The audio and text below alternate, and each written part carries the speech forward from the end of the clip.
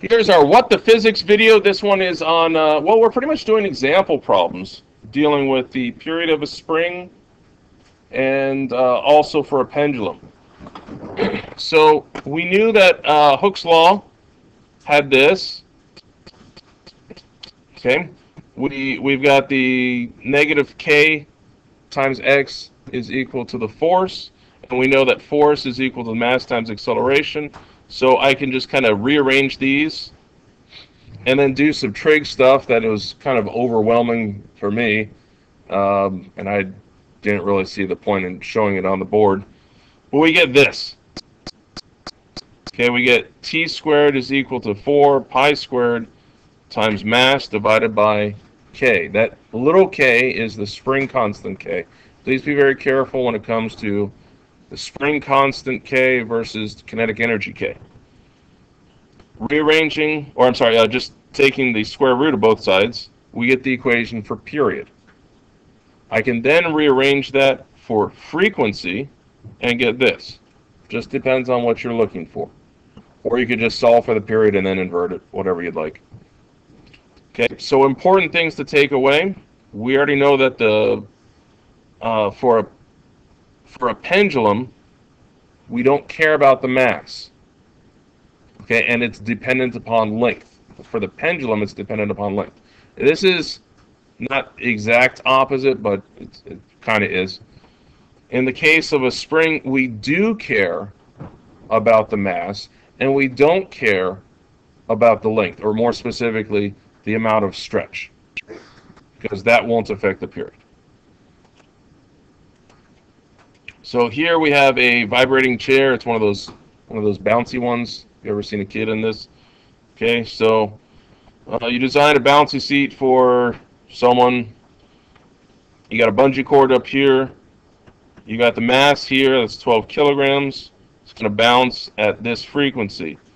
Calculate the K value for the bungee cord. And then what would happen to the frequency if you doubled the total mass? Okay, so please be working on that. Okay, so if we list out our variables, oh, here we are. Got my frequency, I got my mass, I'm looking for my K. I'm going to use the equation we just had on the previous slide. I've got this is my frequency. But that's solved for frequency. I, I don't want it solved for frequency. I want it solved for K. So k is in the square root, so I got to square both sides and then start shuffling things around, yeah? Okay. Solving for k, I should have this, right? Okay.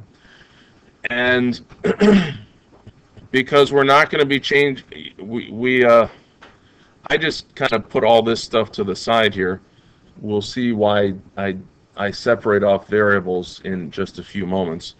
Okay, but I plug in my frequency, 0.4 squared, I plug in my mass, that was the 12, the 4, the pi squared, okay? So I get my k value as this. Uh, 75.80 kilograms per second squared, or you can say newtons per meter if, if you uh, want the more standardized units.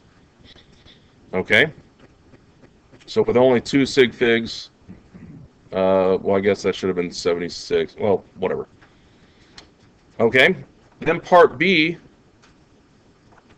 what would happen to the frequency if I double the total mass? So if I double the mass, am I going to change the K value? No.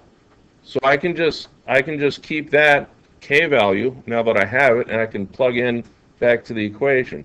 Or, and this is what I was trying to get at by separating out all the constants, if I can just say, hey, looking at, um, well, this, we said my k isn't going to change. The 4 and the pi squared, those aren't going to change either. So if I can just say, oh, what happens when I double this value? What happens uh, to the to the frequency? I got frequency is proportional to 1 or to the square root of 1 over m. Or you can say 1 over square root of m, same thing. Okay. So if I'm putting a 2 in front of the mass, that means I've got to put a 2 on the other side of the equation as well.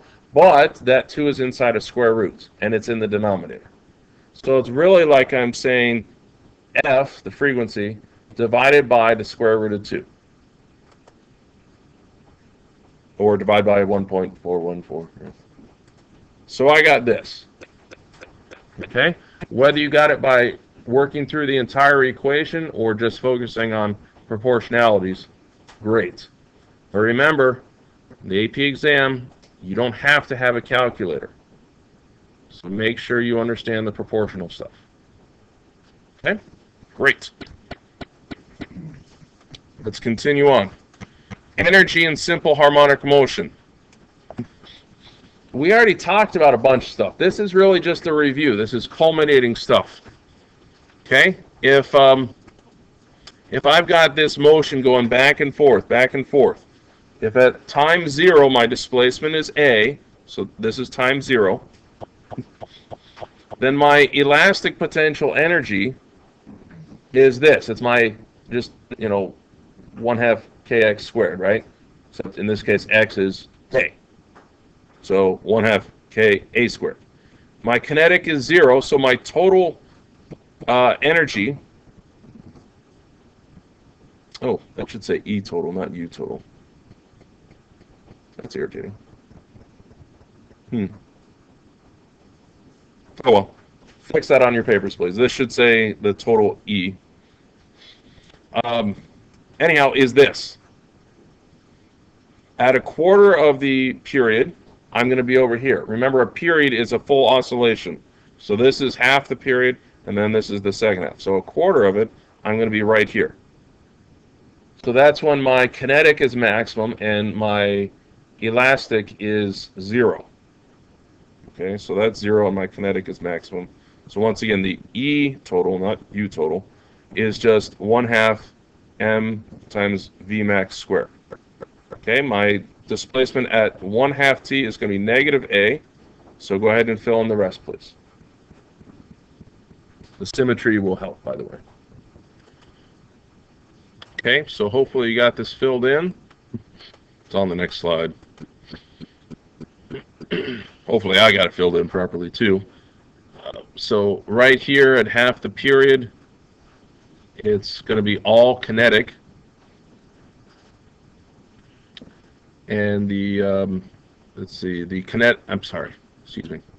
It's going to be all elastic potential, and the kinetic is going to be zero. Okay, just like we've said before.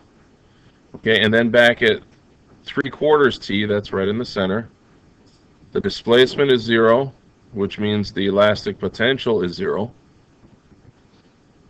because we can just plug in 1 half k 0 squared. And it's once again the max. Notice we don't really care about the signs. How come? Because it gets it just gets squared away, right? Okay. And um, once again, this should be saying E total, right? It's 1 half mv max squared. And then just like at time zero, Okay, so that's why I was talking about with the symmetry. Okay. Good stuff. With that in mind, we can do a little bit of an extrapolation. What is the fastest the speed is going to, uh, I'm sorry, what is the fastest uh, the cart can go at? What's the greatest speed? Okay. We already looked at the positions just a moment ago. And you'll remember it's slowest at the extreme positions when the amplitude was either positive A or negative A.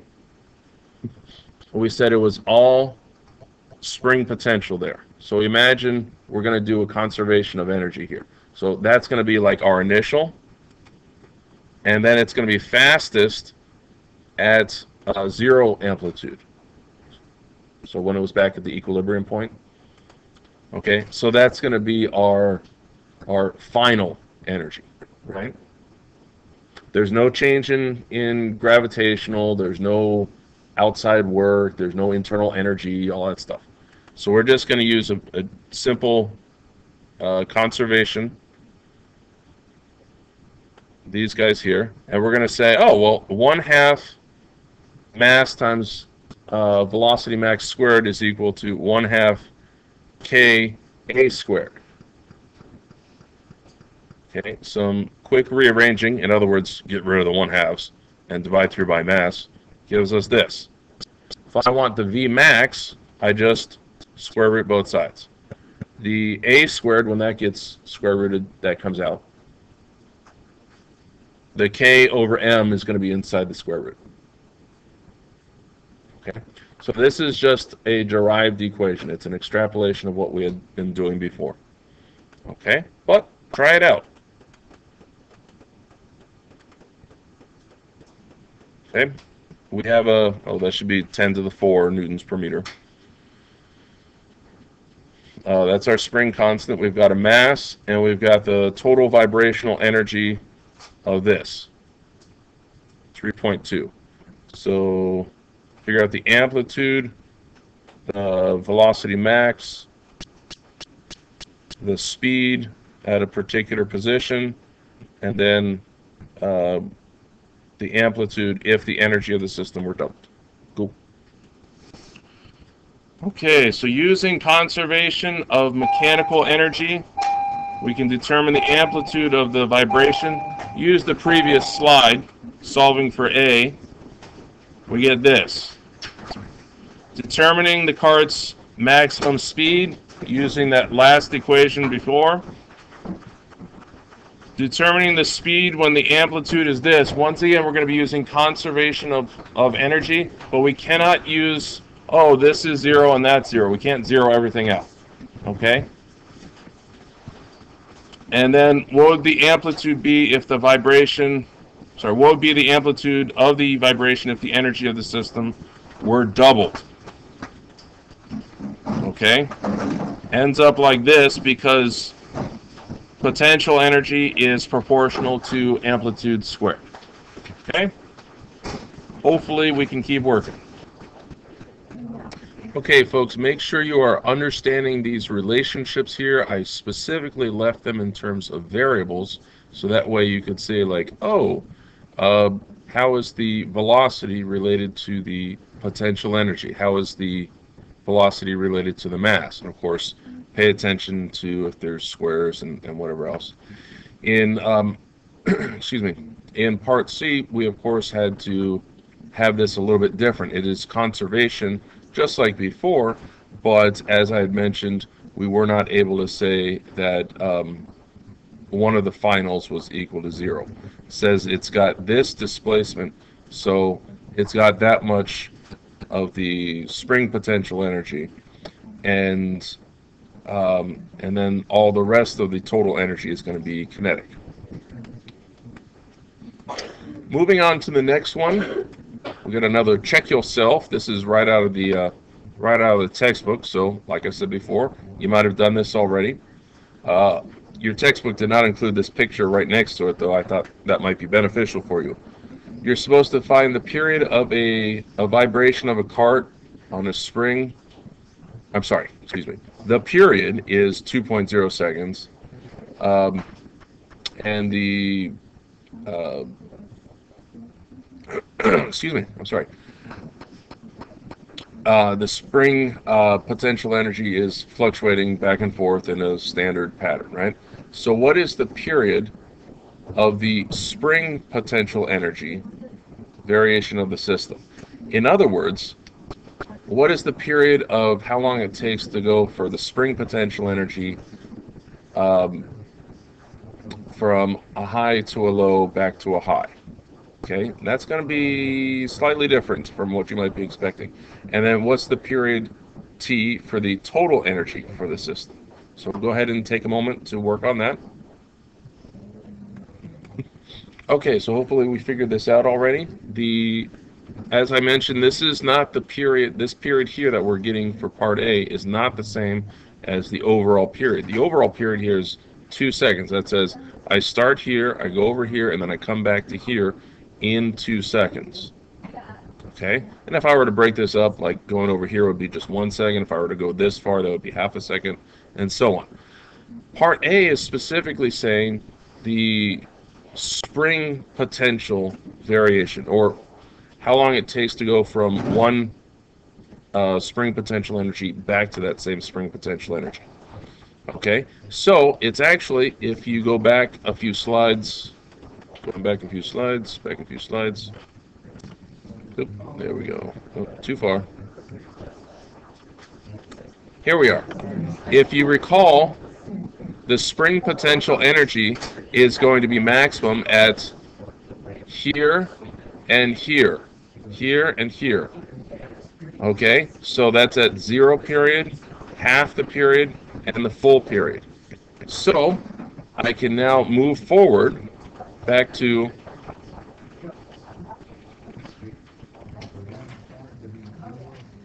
back to this, and I get it is the full period is two seconds, but it's only going to take one second to go from here to here. Part B is a little bit weirder. What is the period for the total energy of the system? Well, does the total energy of the system ever change? No, it doesn't. So that's kind of a bizarre one. It never changes because there's never any outside forces. Okay? The individual pieces might vary, but the total does not. So is the period infinity or zero? I don't know. Okay? Moving on, now we're talking about the simple pendulum. We had done this before, way, way, way back in the beginning of the year. And we had the masses swinging back and forth. And here's some free body diagrams for how they're moving. So as we had said with the free body diagrams, uh, it is really a combination of the tension force and the uh, gravitational force. Remember, your textbook says it kind of weird. Instead of saying gravitational, it's saying Earth on on the on the uh, I guess ball, the the mass. Okay, so the um, the force is always bringing it back in. Okay, and it's like we said, a combination of these, so that's why it's always kind of changing okay? And the direction is is um, is um, going along with it okay? Just like before we know that it has uh, excuse me it has maximums and minimums at various points okay? So let's go on to the next slide but uh, right here at the highest point we already know in terms of conservation of energy it's not going to be moving. That's the highest point. It's not going to go up any higher hasn't started to fall back down yet. So that means the gravitational potential energy is maximum, and then down here, assuming it's swinging through, that would be maximum kinetic, so therefore maximum velocity. Okay. So here we have it with uh, the various diagrams. We've got the acceleration and the velocity going on. It's a little bit stranger. I mean, the velocity is pretty much the same as it was for the uh, oscillating spring. It doesn't, I don't think this image does a terribly good job at, at clarifying how the velocity is actually slowing down on its way up here and this is the maximum velocity but this is where the velocity is maximum if nothing else you can use conservation of energy to get that okay I don't think it does a stellar job at really explaining the acceleration either. But you say, why is it pointing upwards? Why is well, and therefore why is the uh, force going to be upwards? Remember, this is the centripetal stuff. So in many cases, it's a bit more analogous to the circular motion.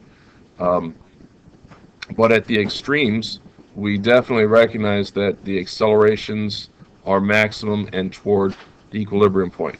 Velocities are zero and toward the equilibrium point. Okay, and there's a, a slightly larger view of the forces. Right underneath, we've got the whole conservation of energy thing going on. Okay, but we already knew about that because, as it says, we are awesome. So what affects the period of a pendulum? We already knew this from the beginning of the year. The mass of the bob? Nope. The Angle of the displacement. As long as it's relatively small, it doesn't affect anything. And your textbook kind of talks about that in terms of the sine of theta being practically the same as theta for small angles. You don't have to worry about that, but there we go. The length of the string absolutely does affect it. Could the mass of the string affect it? Technically, yes. That's why we usually just think of the uh, pendulum bob as, as a point object with a massless string. But if this were like a rope or something, and the bob not being much heavier than the rope, that would change things because that could uh, effectively raise up the center of mass, um, which means it would definitely affect our period. Here is the equation. Okay, we once again we got 2 pi times the square root of, except in this case it's length of the string divided by the gravitational field. We already knew about the whole length of the string thing and the longer the string, the longer the period. Okay. Now, specifically, we know about the whole square root relationship, which we had not necessarily realized at the beginning of the year, but we knew it wasn't exactly proportional. There was something else involved. So there we are. So the fact that the gravitational field in which the pendulum is in is going to actually affect uh, the period of the clock is actually kind of cool because that means you can use the period of the clock and or I mean the clock the I'm thinking in terms of a grandfather clock I guess but the period of a pendulum in general I suppose. We can if we have the period of the pendulum and of course we know the length of the pendulum exactly we should be able to calculate what the gravitational field is on whatever that surface is. If we're on the moon if we're on a different planet um, and so on.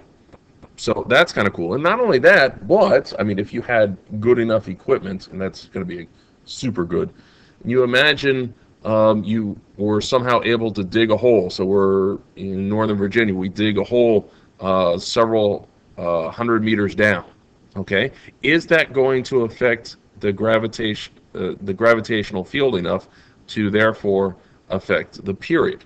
Okay, what if we then climbed up on a mountain? So we have some mountains nearby us. We probably want some really tall mountains, uh, maybe the Rockies, maybe uh, you know going to Mount Everest or something. That'd be a lot more significant distance.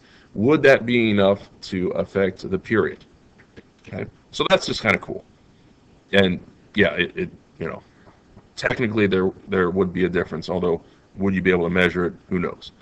And speaking of grandfather clocks, so a grandfather clock uh, uses a pendulum to keep time. You've probably seen this before. Uh, uh, maybe it's maybe it's the uh, uh, full like six or seven feet tall grandfather clock. Maybe it's just one that's uh, more of a wall hanging one that has a pendulum a bit smaller. But anyhow, they're pretty cool to see and they have pretty chimes and and such. But it is a cool example of physics. We have the pendulum being a particular length and thus it will it should give a consistent period. Now we'll talk about maybe it doesn't in a moment. Okay. Uh, some of them are set up so the pendulum swings back and forth. It takes one second, or it swings just half the period in one second, or whatever. It doesn't technically have to be a one to one ratio or a two to one ratio. There are various gears inside that they can um, kind of translate this uh, if necessary.